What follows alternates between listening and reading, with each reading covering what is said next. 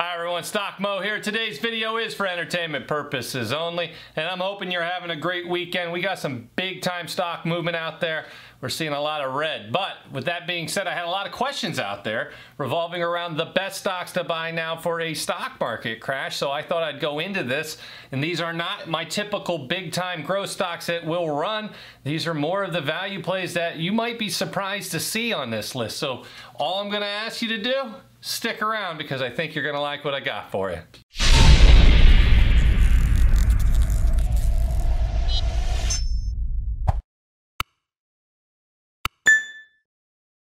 For anybody that's new to the channel, I am Stock Moe, an old financial advisor and educator. All I ask, hit that subscribe button, absolutely annihilate that like button, hit the bell for notifications, hit all. Take advantage of the link down below as well to Webull. They are giving you up to 2,300 in free stocks, two free shares of stocks, no matter what. And you only have to put five bucks in there. It's the lowest I've ever seen this offer. It's one of the best times too. And they just added Cardano. They have Ethereum. They have a lot of different cryptos in there. They have Doge. So if you've been interested in this, this is an opportunity to do it. And they're going to give you a lot of free money to do that. I also have a link down below to BlockFi up to 250 in free Bitcoin. And they're paying interest on top of the crypto, which is the big thing. Take advantage of that. And my link down below to Patreon as well. Come on over and check that out. I have all my portfolios. We have a private Discord thousands of members. If you want to come in and see what we're discussing, just be a part of all this, highly recommend doing that. So today, we had a lot of people, you know, hey, Moe, what are the stocks we can get into if we don't want the high risk, we want some more value, we want positive earnings, we want earnings that should continue to do well, what stocks could we buy? What are the best stocks to buy now? And so I went out and did some research, found five fantastic value plays out there that I am highly considering either adding more onto or starting to position on because I don't own all these ones. So I'll give you a little inside look into what I'm looking at for stocks moving forward. Hopefully we'll see some movement upward and we'll take advantage of. It. First things first though, I want to show you the S&P 500. We are kind of going to gauge these stocks compared to this. Right now the S&P 500 is up 16.93% for the year starting January 1st up to this date. Did throw out 15 to 20% by the end of the year. I said that on the uh, January 1st. So right now we already hit the number. We are in between there. We will see if it rises. I do think this will go up uh, approximately 45 to 4,600 by the end of this year. We will see where this goes. So I'm not uh, worrying too much about the recent downturn.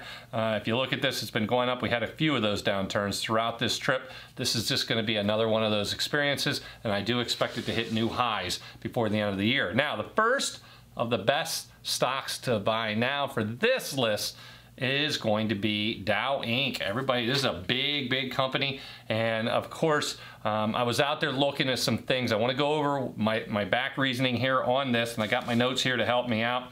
And this, this one's a little different. Now, this year, according to my notes and what I was looking into, they are to expected to possibly have roughly $7.18 in earnings per share. That would give it a current PE, if they can do it for this year, of around 8 to 9. That is way under the 15 that I like to look at, which is the average of the of the market over the, the long term of it. And so finding one like that is good. But then I always like to look when I'm looking into these value plays, what are the price to earnings ratio moving forward? And there's a lot more to this. You can look at growth of the revenue. Are they growing? Is the earnings getting better? Are they cutting costs? But just to keep it simplified for this video, uh, taking a look at next year's, it does drop down to 5.64 is what they're estimating per share. That puts us at a PE ratio of 10 to 11. I know on here it says a little bit about 22. It does not have some of the forward earnings in there. So we will see um, as it goes forward, a PE of, for 2022 of roughly 10 to 11. That tells us we have roughly a 40 to 50% upside potential to get to that PE ratio of 15, which is a fair number. So let's go ahead and take a look to see how high it's up. You can see it's up 11% uh, this year, or year to date, and then over the last year it's up 41.87. It's doing very well. And uh, in the long run, I think this stock has some room to run and that's why I added it to the list of the best stocks to buy now. This is the best value stocks to buy.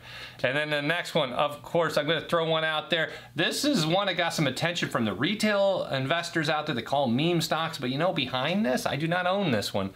But I'm telling you, I'm looking into it because it did make my list. This year, they are expected to have earnings of roughly $1.52 a share, giving a, a PE for 2021 of roughly 17.86. Now, that isn't under my 15, so you'd be looking for continued growth in that, and we do see that. Their earnings per share go from 1.52 up to $2.24 next year is what they're expecting. That will push that PE ratio down to 12.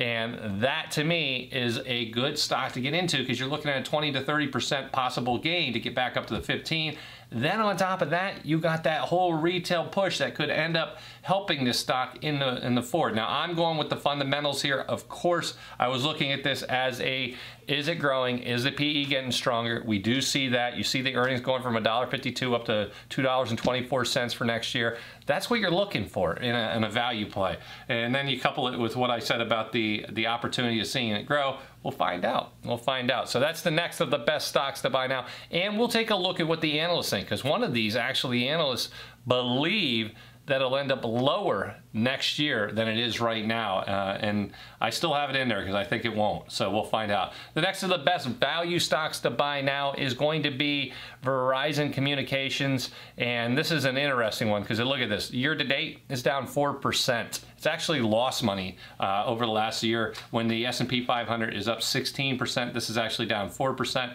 It is, it is underperforming the market by 20% so far. So as we look into this over the last year, if you owned it for 12 months, you are only up 1%. Easily, easily, easily just not, it's just not looking good. So uh, we'll leave it at that and just say that I believe current PE of Verizon, uh, we see some opportunity here moving forward. It doesn't change much. Uh, they have earnings of $5.13. This year is what they're expecting. Next year, earnings of $5.19. So it's not going to change much, much, and that gives us a PE ratio of approximately 11. And so there is what we're talking about in terms of uh, opportunity for these value plays. That is why I put it in there as the best stock to buy now because it gives us that chance of getting possibly a good 30 to 40% run up to get that PE ratio up to 15 to be in that long term. And if you see a big market crash, I would not expect to see Verizon be one of those stocks that would just collapse in share price because it's already down at a very low level. Look at the dividend, paying out 4% as well. Uh, we can take a look at the other ones. No dividend for that one. 4% dividend for Dow. Um, so you've seen a little bit of opportunity. And like I said, Verizon has 4%.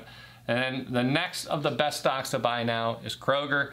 Kroger is one that they're paying out a 2% dividend. And I got in my notes here, they have a Let's see here. Ooh, we got some opportunity here with a 13 PE, basically for both years, $3.08 this year in, in earnings per share and it goes to $3.07 next year earnings per share. So it's kind of it's grocery store. So you know it's kind of figured out what they're doing and that is what they're looking at this particular moment. Gives gives it a PE ratio of 13 for 2021 and 2022 so for me that stock could move up about 20% and I would expect if we have any issues in 2022 which I am looking into I'm trying to find out if we're gonna I'm looking at buying more of these kind of stocks that people have to continue to get groceries. They stop eating out as much. They start making food at home.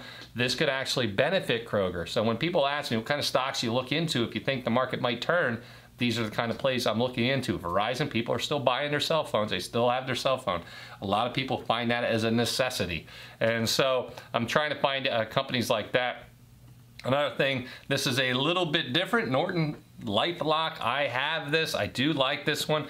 And I have it down here. We have uh, earnings of per share of $1.72 this year. And then next year, $1.93. So it is jumping nicely up. And the PE ratio goes from this year expected 15 up to down to about 13 and a half for next year. I like that little growth. I think it's going to continue to grow as online security becomes a bigger and bigger issue.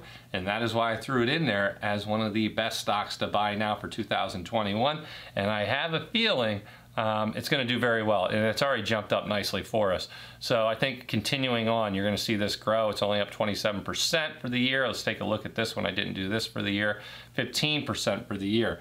So you're going to see some movement out of these. Now, what the analysts think, I got Dow in here, Dow Inc., and you can see here they have an upside potential based on the analysts out there, 26%. I do have a link to TipRanks down below. Take advantage of this. It's in the description. I love having all this in one place.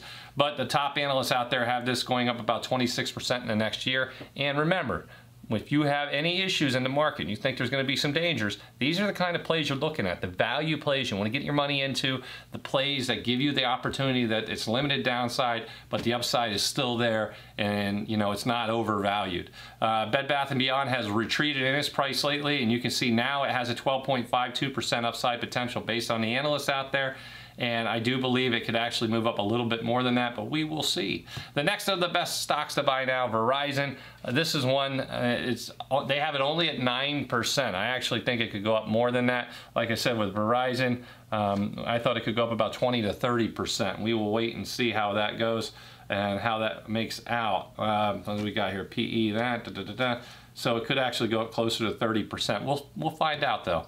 Uh, Kroger, we have, this is the one I was talking about. They have it actually down.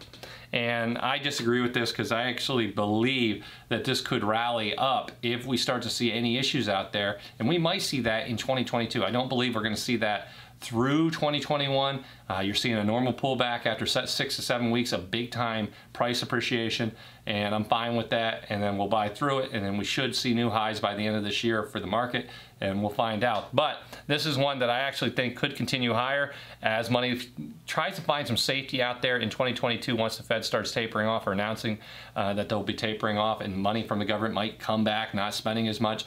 That's when you start to see these kind of plays uh, move up. And lastly, but not least, Norton LifeLock. They have this one at 13% upside potential. This is another one of them value plays. That's why I put it in there the best stocks to buy now because it gives us that opportunity with some upside potential of over 10% over the next 12 months, which is a good gain. So I wanted to cover all these because I know a lot of people out there have been asking me, hey, you cover, we know you got the high growth, we know you're in the clean energy, the, the EV sector, and I've been going over some, we had a meeting today and I was talking about some new uh, EV companies out there I'm looking into, and some other stocks, but I wanted to come out on YouTube and show you uh, five solid value plays that if you're looking, you want to have a little diversity in your portfolio, but with stocks that have a chance of double digit price increases, these are the ones you can look into. So like I said, I own some of these, I don't own some. I'm looking into adding them but I wanted to come out here and just share it with you before I make any moves as well. If you want to know exactly what I am going to buy and sell and all that good stuff, come over and check out the Patreon. I do have the link down below, and I, we have our private Discord, and I show all my portfolios and stuff, and you can check that out. It's good stuff. And uh, take advantage of the, the Webull down below. You're going to get two free stocks right now for that. You only have to put five bucks in there, and they're going to give you a shot at 2,300. Guaranteed two stocks worth $11 or more altogether, all the way up to 2,300. And I've seen some people get some really nice stocks out of that. And then the BlockFi, of course, take advantage of BlockFi down there. They have up to 250 in free Bitcoin, and they're paying interest on your crypto, which that is one of the main reasons I love that place. And uh, I do have the TipRanks link down below and the Patreon. So that's what I got for you today. Hopefully you're having a great weekend. I can't wait for the market on Monday, and we'll see what happens. Like I always say, let's get out there and make some money.